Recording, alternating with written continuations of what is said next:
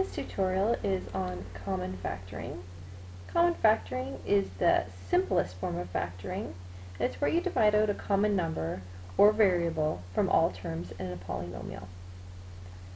Let's look at the example 4x cubed plus 6x squared.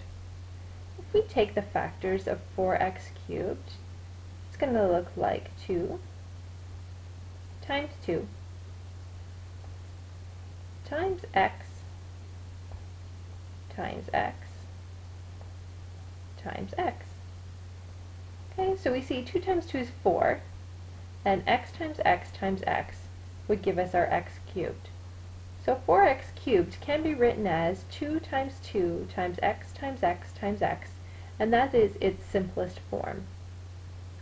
If we do the same thing with 6x squared, we're going to have 2 times 3, so that'll give us our 6, and now we have x squared. So we can get that by multiplying x times x. So the simplest form of 6x squared is 2 times 3 times x times x. So now we're going to look at the common factors. What factors are common in both of these? So I see we have a 2 that's common.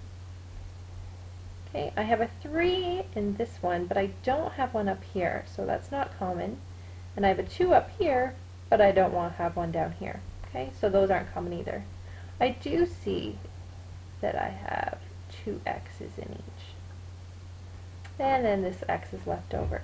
So the common factors are, we have a 2, we have an x, and we have another x. 2 times x times x is going to give us 2x squared. So, if I was looking for the common factors in 4x cubed and 6x squared, the answer would be 2x squared, because 2x squared is in both of those. Let's look at just finding the greatest common factor in each of these binomial, and we have some trinomials down here. So we have 3x plus 3. You want to figure out which number or term is common in both 3x and 3. So right away, if I look at 3x, I can see 3x is made up of a 3 times an x. If I look at the 3, I can see, well, that's just made 3. 3 times 1. Okay, so if I'm looking for the common factor, the only thing common in both of those is 3. So the greatest common factor in 3x and 3 is 3. Let's look at the next one. 2x and 4. I want to see what's common in both of those. Well, I know 2x is made up of just 2 times x. And 4 is made up of 2 times 2. So if I look for what's common in both of those, I got a 2, and then I have an x and a 2, so those aren't common. So the only thing that's common between them is that 2. So that is the greatest common factor. Looking at the next one, I have a 2 times x, and then just a 2. So the greatest common factor is 2. There's definitely not an x in both, so that's not a common factor. Looking at the next one, 3x plus 6. We've got a 3 in this one. I know there's a 3 hidden in that 6 somewhere, so the greatest common factor is 3. This one's a little bit trickier. It's a trinomial, so we have three things here to look at. Let's first look at 36x squared. 36x squared is made up of 2 times 2, that's 4, times 3, we're at 12 now, times 3, is 36, times x, times x. If we look at the 12x, well, 12x is made up of 2 times 2, that gives us 4, and 3 more is going to give us a 12. So 2 times 2 times 3 is 12, and of course then we have an x. The last one, last term is 6, which is made up of 2 times 3. So if I was looking to see what's common in each of these, we got a 2, and we have a 3, we don't have any x's common because this term doesn't have an x, so we can't include an x in there. The greatest common factor then is 2 times 3, which is 6. So the biggest thing that can be taken out of each term is 6. Looking at this one, we have an n here, but we don't have an n there, so I definitely can't take an n out. What's the highest number that goes into both 4 and 10? 4 goes into itself, but it doesn't go into 10. 2 goes into 4, and 2 goes into 10. So the greatest common factor is 2. Looking at this one, what is the highest number that goes into both 5 and 15? Well, 5 goes into 5, and look at that, 5 goes into 15. So I know I can take a 5 out. Look at this one, however. Look at the variables. I got 1b here, so we can consider that as b to the 1. And I have two b's, b squared, so I have b times b. So the first term I have b, second term I have b times b. So the highest variable I can take out of there is a b. Looking at this one, we have 1x, so we can consider that as x to the power of 1 and we have two of them over here. This is x times x. So the highest possible factor I can take out, or the greatest common factor, is x. I can't take out a number here because all that's here is 1. So the greatest common factor would be 1. Look at the next example. If I look at the numbers, I have a 4 and a 12. Well, 4 goes into itself, and 4 goes into 12. So 4 is the greatest common factor. Now can I take an A out? I have an A here, but there's no A here. So I can't take any A's out of there. The greatest common factor is 4. Let's put this all together. Once you have the greatest common factor, you can divide all terms in the polynomial by this expression and write what is left over. So for an example, 3x squared plus 6x what is the greatest common factor I can take out of there?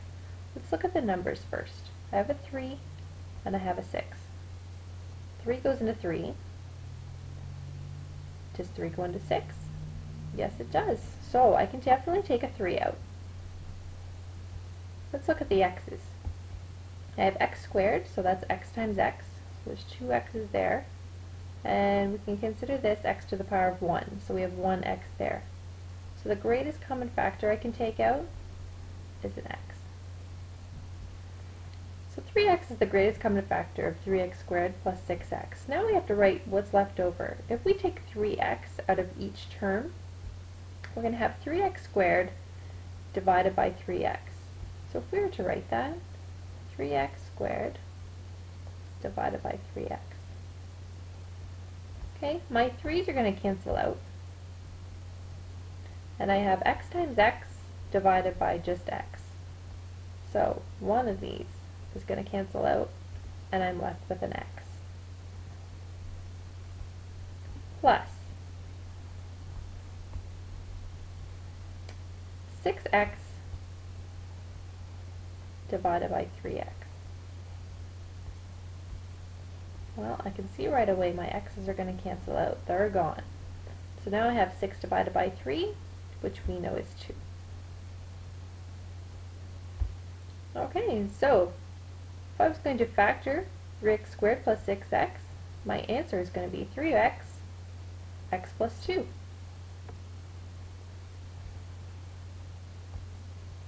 If we look at another example, 3x plus 3, I'm going to take out the greatest common factor first. So what's common in both terms? 3x and 3. What goes into both of those? That's 3. Can I take an x out? Well, this one doesn't have an x, so I can't take an x out. Let's see what's left over.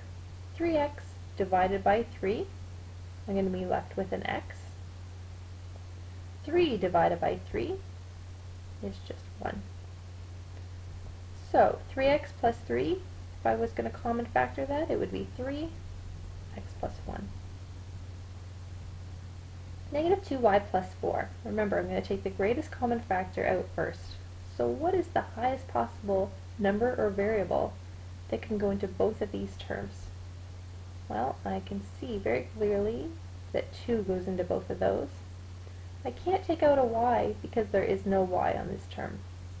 So, what is left over? Negative 2y divided by 2.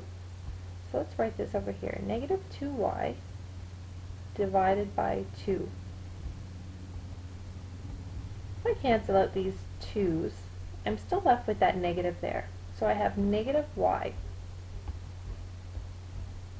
Now I have the term 4. Let's divide that by 2, and we have 2 left over. 2a minus 6. The greatest common factor is 2. Can't take an a out because there's no a value here. So what's left over? When I divide 2a by 2, I'm left with a. Negative 6 divided by positive 2 gives us a negative 3. 5x minus 15, the greatest common factor is 5.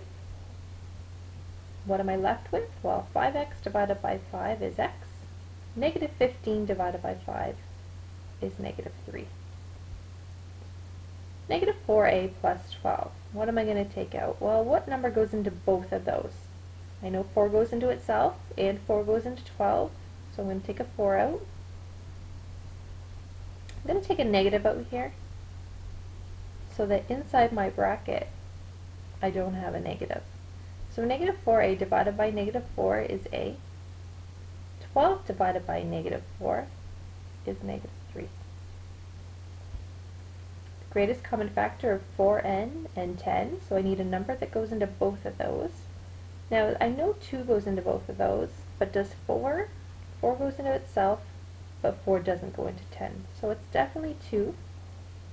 I'm left with an n, and negative 10 divided by 2 is negative 5.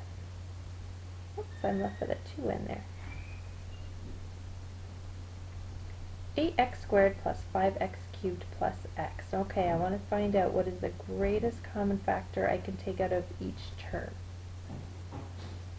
So, there's definitely not a number I can take out of each, but how many x's can I take out? I have two x's here, I have three x's here, and I only have one here. So the greatest common factor is just going to be my x. And now I have to decide what's left over. So I'm going to divide this first term 8x squared. If I divide it by x, I'm going to be left with 8x. And if I have 5x cubed, I'm going to divide it by x. So I'm just going to take one of those x's away, and I'm left with 2. And I have x divided by x gives us 1. There's my solution.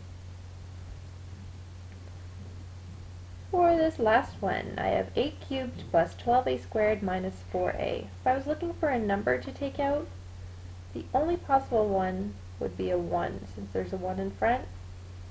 So instead, I'm just going to look at the variables again. How many a's can I take out? Well, I have 3 here, I have 2 here, and just 1. So the biggest number I could take out is the 1. If I take an a out of each term, I have 8 cubed divided by a, which leaves us with 2. 12a squared divided by a is going to leave us with 12a. And negative 4a divided by a leaves us with just negative 4. And there you have it.